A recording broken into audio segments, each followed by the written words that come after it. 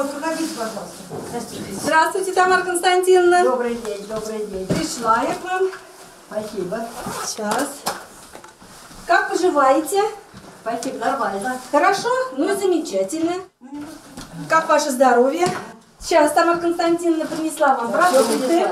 Да, вот грибочки. Грибочки принесла. Лесные, которые вы хотели. Нарезочку мясную. Белизна. Это Спасибо. туалет.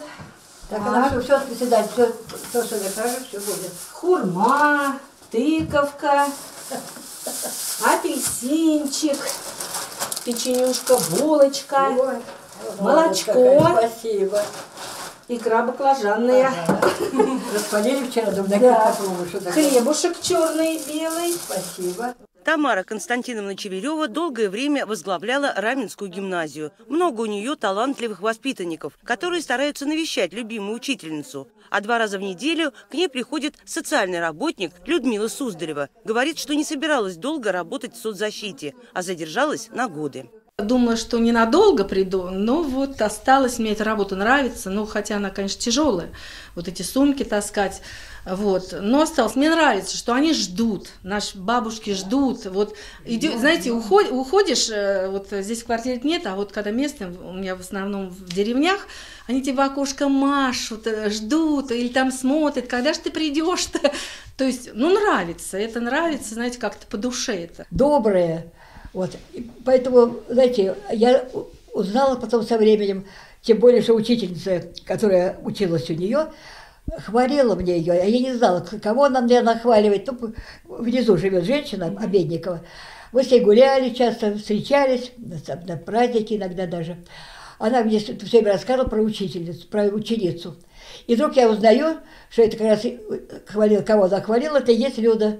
Я говорю, Люда теперь у меня работает. Ой, как вам повезло. Она такая была хорошая ученица, такая там, самодеятельная. Мы только радовались все на нее.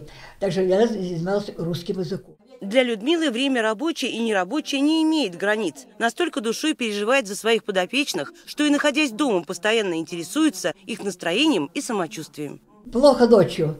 Люда, я зв- телефон имею. Люда, кроме того, что привозит все это само собой, она может ночью прийти и сделать укол.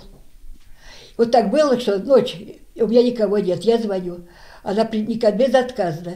И я знаю это не только по себе, знаю, что также она относится к Ольге Алексеевне.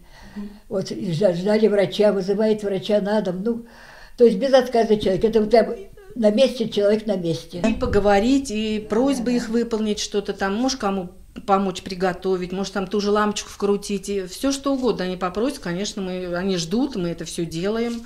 Все, а как же, без нас они никуда. Ну, Получается, что ваши подопечные уже становятся какие-то близкие по духу вам люди, да? Конечно, они, во-первых, сами привыкают к нам, и мы к ним привыкаем. Вот придешь домой, а из головы это не выходит. Так, что надо это, как она себя чувствовала. То есть дома не можешь забыть про эту свою работу. Ну, не получается просто. Служба у соцработников и физически, и морально непростая. За день Людмила Суздарева навещает по шесть своих подопечных. И на всех у нее хватает времени, терпения и душевной теплоты. Хлеб, молоко, Так, бе- бедро, вот я, чтобы не забыла. Мгм, Бедро. щас. хлеб, молоко, бедро. Бедро. Грудку не надо куриную? Я не знаю, хватит пока. Так. Наверное, не надо. Овощи. Так, овощи надо.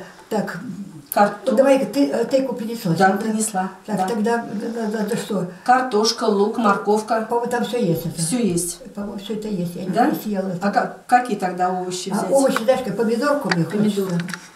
Только смотри, чтобы не твердая была. Нет, нет, я поняла. Сколько? Штучки две? Три? Да, три, может, три. Три. Так. Вот теперь это Огурчика. Огурчик не надо, Не не, надо. не- не идет. Так. Это зелень. Это. Зелень. Лук, лук есть? Лук есть зеленый. Да, Есть. а эта заправка вся у меня есть. Лук зеленый пучочек. Так. Так, зеленый. Ну что еще? Перец. Андрей Пластунов, Ольга Скрябина и Алексей Гущин для программы «Городские вести».